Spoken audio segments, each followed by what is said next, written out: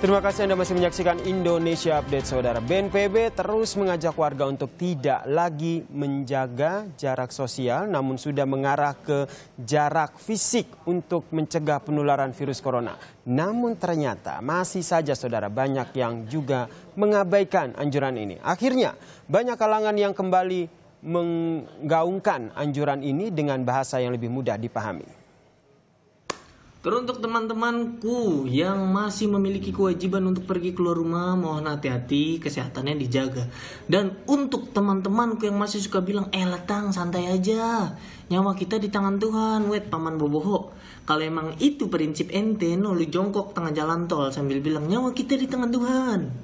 Kalau nggak dicipokin Nova lu, Emang nyawa kita di tangan Tuhan, cuma kan harus usaha kitanya. Ada ikhtiar sebelum tawakal. Nah makanya lu pas pelajaran agama jangan main kiu-kiu lu kagak masuk di kepala lu. Tapi gue nggak apa-apa tang kalau meninggal. Ya gue juga nggak apa-apa kalau lu meninggal. Asal lu meninggal jasad lu wah begitu ngilang lah. Lu kalau meninggal karena ngeremehin corona, yang lain bisa kena.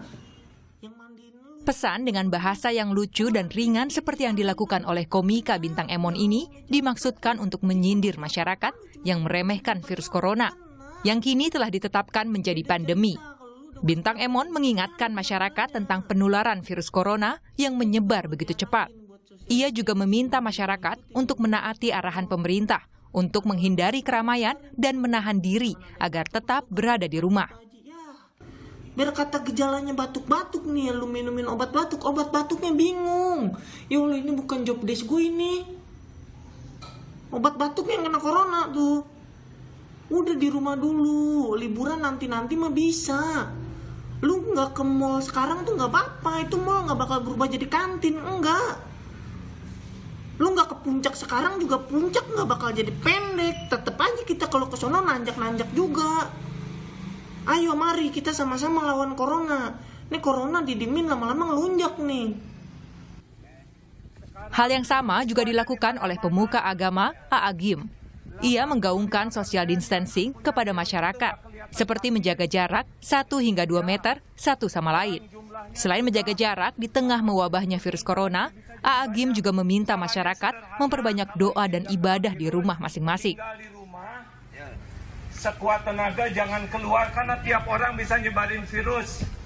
Lalu kalaupun keluar seperlunya saja ya dan jangan dekat-dekat. Usahakan jaraknya minimal 1 meter, 2 meter. Jangan ngumpul dekat karena bisa kena ludahnya atau kena nafasnya mungkin juga nular ya. Jadi usahakan di rumah, di rumah. Kalau mau keluar seperlunya dan kembali lagi ke rumah cuci tangan Jangan datang ke kerumunan-kerumunan, ya Pak, Bu.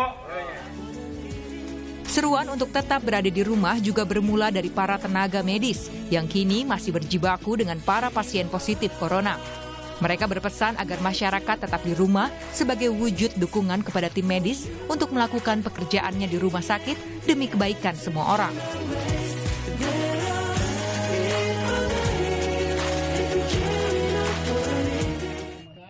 Imbauan demi imbauan telah disuarakan. Tak hanya dari pemerintah daerah, tenaga medis, sesama warga pun tengah saling mengingatkan untuk menjaga jarak demi mengurangi penyebaran virus COVID-19 ini.